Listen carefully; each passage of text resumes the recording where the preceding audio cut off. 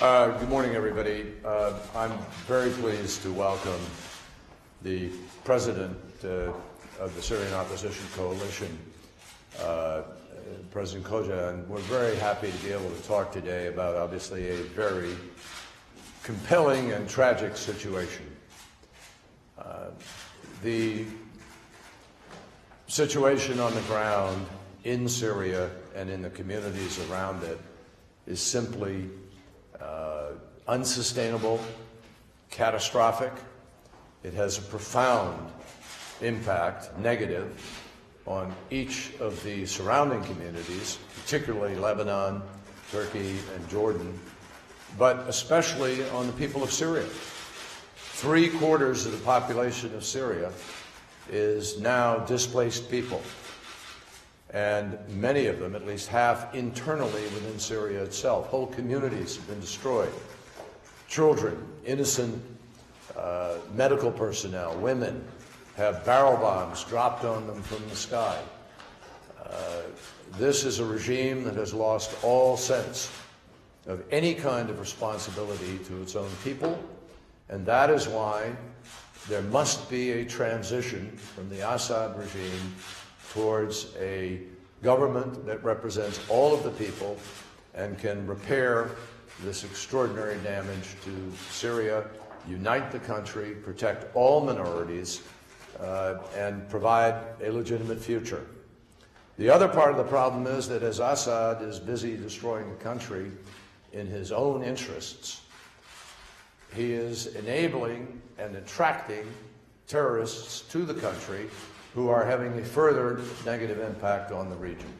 Uh, that's why he has lost all legitimacy with respect to his ability to be able to uh, be a part of the long-term future of the country. So we will talk about this today. Uh, the Syrian opposition continues to fight difficult odds. Uh, they have agreed to be part of UN talks uh, that will take place over the course of the next weeks and months. And we very much hope that in the immediate days ahead, uh, people will be able to find a new path uh, by which to create an outcome that will restore the secular, united nature of Syria uh, and be able to prevent this extraordinary humanitarian catastrophe that is unfolding uh, before the world's eyes. So, Mr. President, I welcome you here. We're delighted to have you, and I look forward to our conversation. أنا هنا لأشكر الولايات المتحدة الأمريكية على دعمها المتواصل للشعب السوري في تحقيق أهدافه من تأسيس سوريا حر حرية وديمقراطية وتعددية.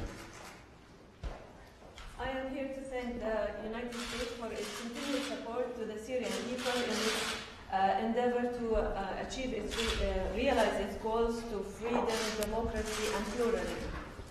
الولايات المتحدة الأمريكية قدمت ما يزيد على ثلاثة بلايين دولار كمساعدات للشعب السوري ووقفت مع الائتلاف الوطني لقوى الثورة والمعارضة في سوريا واعترفت به كممثل شرعي ووحيد للشعب السوري. Uh, the U.S. has given the Syrian people as in excess of three billion uh, dollars in assistance, and it has stood by the uh, Syrian coalition as the legitimate representative of the Syrian people.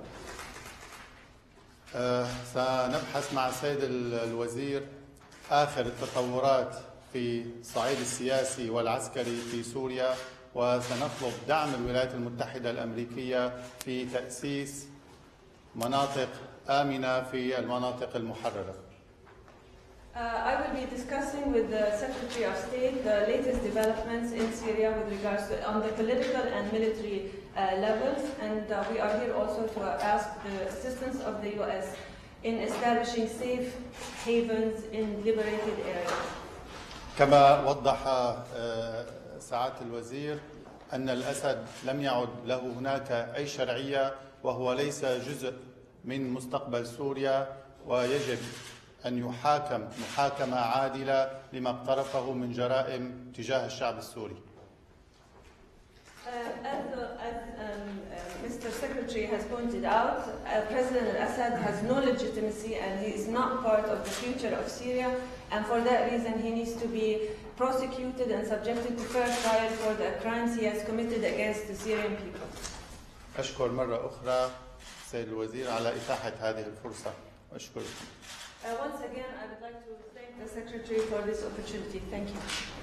شكرا Thank you. Thank you very much. Thank you.